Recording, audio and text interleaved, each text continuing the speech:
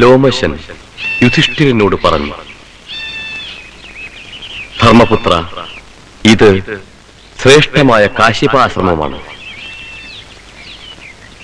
കശ്യപസുതനായ ഈ വിഭാണ്ടകന്റെ പുത്രൻ ജിതേന്ദ്രിയനായ ഋഷ്യശൃംഗൻ മാൻപേട പെറ്റുണ്ടായവൻ ലോമപാതന്റെ രാജ്യത്ത് വലിയൊരു അത്ഭുതം ചെയ്തു. ബ്രാഹ്മണ ശാപം കൊണ്ട് പന്ത്രണ്ട് വർഷം മഴ പെയ്യാതിരുന്ന അംഗരാജ്യത്തിന്റെ വരൾച്ച തീർക്കാൻ തപോബലം കൊണ്ട് ഇന്ദ്രനെ പ്രീതിപ്പെടുത്തി അദ്ദേഹം പെരുമഴ പെയ്യിച്ചു.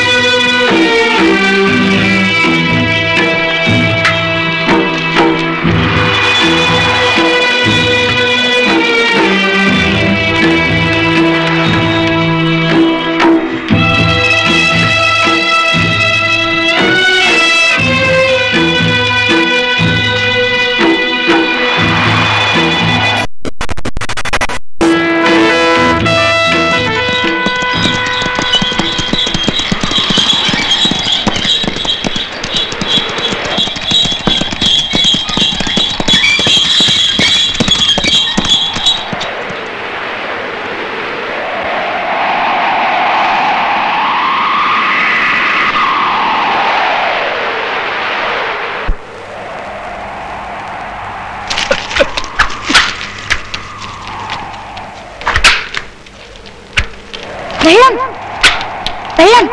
അതാ വെള്ളം കൊണ്ടുവരുന്നു.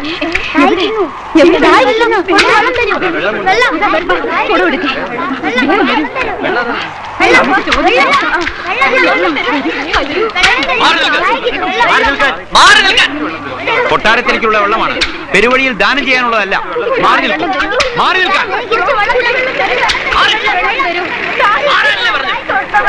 ചമ്പാവരിയിലേക്കുള്ള വെള്ളം പിടിച്ചു പറിക്കാമെന്നാണോ മോഹം?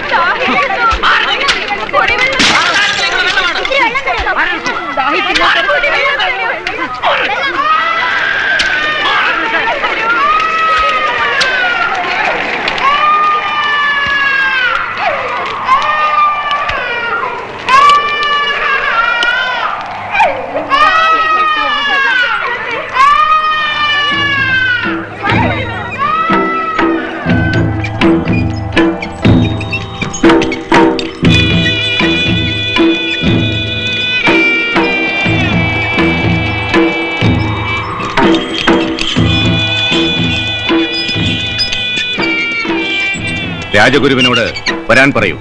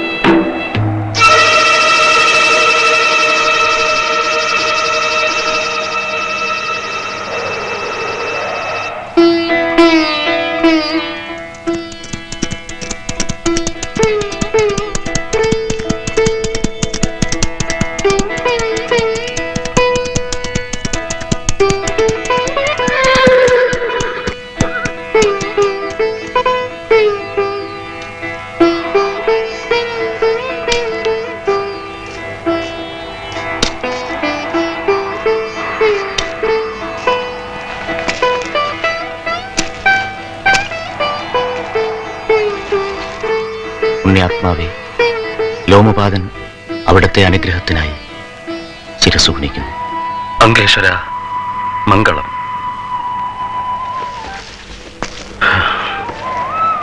രാജ്യത്തിനും രാജ്യവാസികൾക്കും കുശലമല്ലേ എന്ന് ഞാൻ ചോദിക്കുന്നില്ല. അംഗരാജ്യത്തെ ശിക്ഷിച്ചത് മതിയായില്ല എന്ന് തോന്നുന്നു ദേവദേവനായ ഇന്ദ്രന്. വരണ്ട ഈ ഭൂമിയുടെ ചുടുനിശ്വാസം ഞാനും കേൾക്കുന്നുണ്ട്. ഇന്ദ്രപ്രീതിക്കായി ഞാനും പ്രാർത്ഥിക്കുന്നു. നല്ലത്. പക്ഷേ അതുകൊണ്ടായില്ല.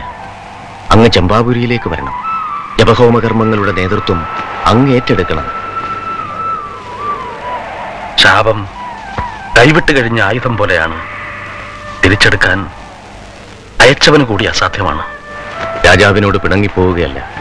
തികച്ചും വ്യക്തിപരമായ ആവശ്യങ്ങൾ കൊണ്ടാണ് ചമ്പാവരി വിടുന്നതെന്ന് അങ്ങന്ന് പറഞ്ഞു. പക്ഷേ ജനങ്ങൾക്കതറിയില്ലല്ലോ.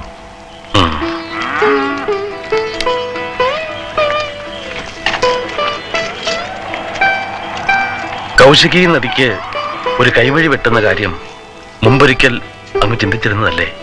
അത് വിദേഹരാജൻ ആശ്രിതനായി വിരുന്നു വന്നിരുന്ന കാലത്തല്ലേ.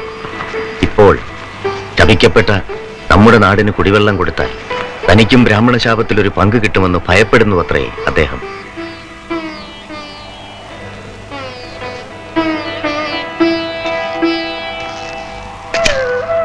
ഇവിടെ വന്ന് താമസിക്കുമ്പോഴും രാജപുരോഹിതന്റെ മുഖ്യധർമ്മങ്ങൾ ഞാൻ പാലിക്കുന്നുണ്ട്. ശാന്തി കർമ്മങ്ങൾ അഥർവവേദ വിഹിതങ്ങൾ എല്ലാം. എന്നെ വിശ്വസിക്കൂ. അംഗരാജ്യ നിവാസികൾക്കും ആ വിശ്വാസമുണ്ടാവും കൂടുതൽ എന്ത് സുഖസൗകര്യങ്ങളാണ് അങ്ങക്ക് ചമ്പാപുരിയിൽ വേണ്ടത്? ആവശ്യപ്പെടാം. ഞാൻ തലസ്ഥാന നഗരം വിട്ടത് കാരണം തികച്ചും വ്യക്തിപരമായിരുന്നുവെന്ന് ഞാൻ ഒരിക്കൽ കൂടി ഉറപ്പു തരുന്നു മാടപ്രാവിനെ പരുന്തിൽ നിന്ന് രക്ഷിക്കാൻ. സ്വന്തം മാംസം അറുത്തെടുത്ത് തുലാസിലിട്ട ശിബിയുടെ പാരമ്പര്യമുള്ളതാണത്രേ ഈ രാജവംശം. ഇപ്പോൾ അറിയാം. ഇപ്പോൾ അംഗരാജ്യത്തിലെ ജനങ്ങൾ മുഴുവൻ അങ്ങയെ വെറുക്കുന്നു ശപിക്കുന്നു. എല്ലാ ശാപങ്ങളും എന്റെ ശിരസിൽ കുന്നുകൂടട്ടെ. പക്ഷേ അംഗരാജ്യത്തിലെ ജനങ്ങൾ മിണ്ടാപ്രാണികൾ അവരെന്ത് തെറ്റ് ചെയ്തു?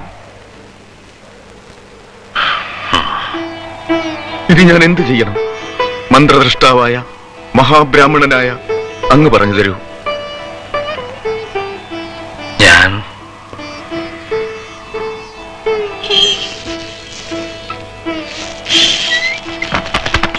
രാജപുരോഹിതൻ കൂടി രാജാവിനെ ഉപേക്ഷിച്ചു എന്ന് പറയുന്നത് നിർത്താനെങ്കിലും അങ്ങ് ചമ്പാപുരിയിലേക്ക് മടങ്ങി വരണം. അങ്ങയുടെ കാർമ്മികത്വത്തിലാണ് ഇനി യാഗം നടത്തുന്നതെന്നറിയുമ്പോൾ ജനങ്ങളൊന്ന് ആശ്വസിക്കും. അങ്ങ് വരണം.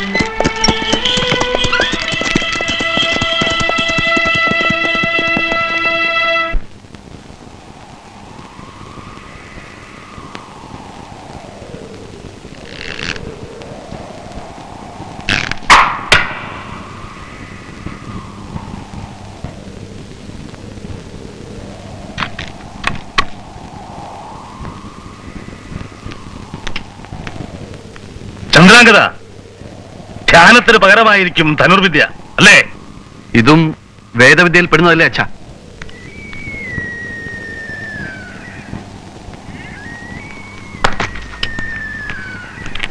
ഉപജീവനത്തിന് വഴിയില്ലാത്ത ദിവസങ്ങളാവും ഇനി അംഗരാജ്യത്തെ ബ്രാഹ്മണർക്ക്.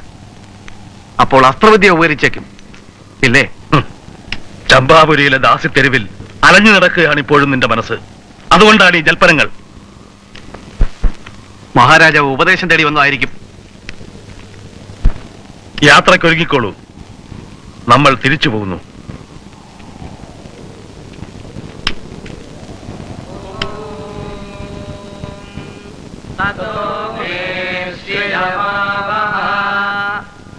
लोमसाम् पशुभिः सह स्वाहा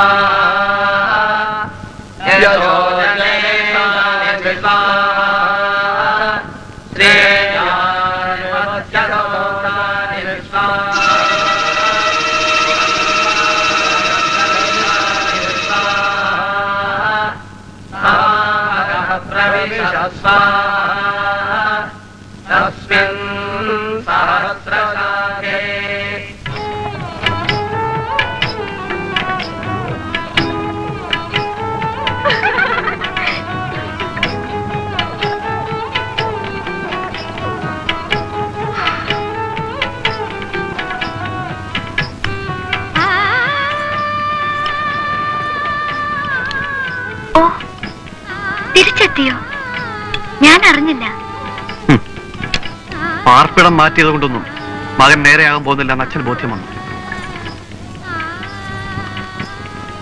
ഇന്ദ്രപ്രീതിക്കായി ജപഹോമങ്ങൾ നടത്താത്ത ജനപദങ്ങളില്ല. എന്നിട്ടും ഒരു മഴമേഘം കൂടി അംഗരാജ്യത്തിന്റെ മുകളിലേക്ക് വരുന്നില്ലല്ലോ.